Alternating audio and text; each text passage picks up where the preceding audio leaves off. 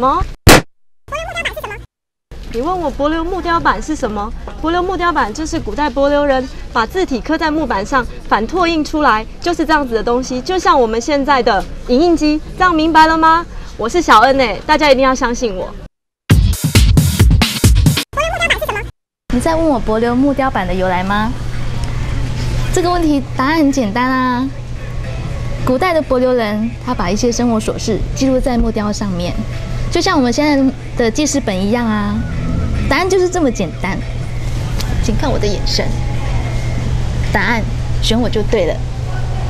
喵啊！